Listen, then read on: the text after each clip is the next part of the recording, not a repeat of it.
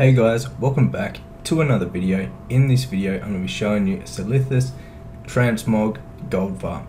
Now, some of these pieces that you can get from this Transmog Farm go all the way up to like 500k gold. There's some really, really good pieces on the loot table.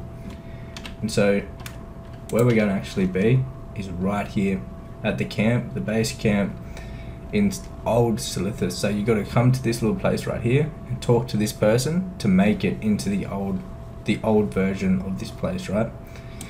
And now a few useful things. If you're a druid or if you're like a range class, I recommend using a macro, something like this. so as you can see right here, it says clear target, then it says target TWI, which is the start of all the monsters here that we want to be killing, and then cast Sunfire. So you just change the Sunfire for, like if you're a mage, one of your one of your moves, like Ice Lance, something like that. Whatever, whatever. You can change that last bit, and it will automatically cast onto these um, Twilight mobs.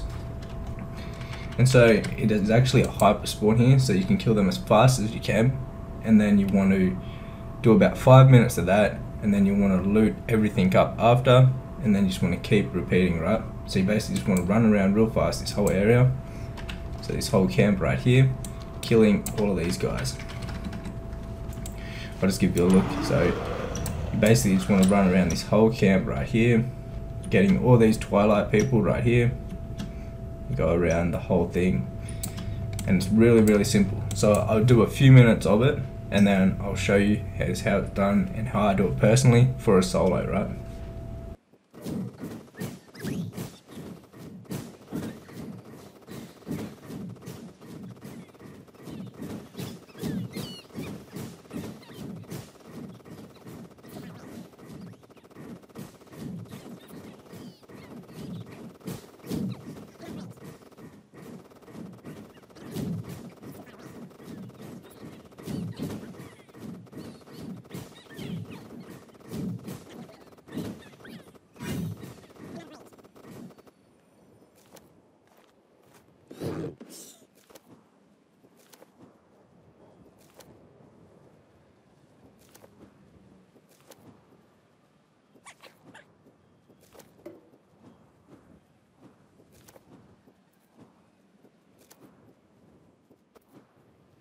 Alright guys, so get out there, give this transmog farm a go.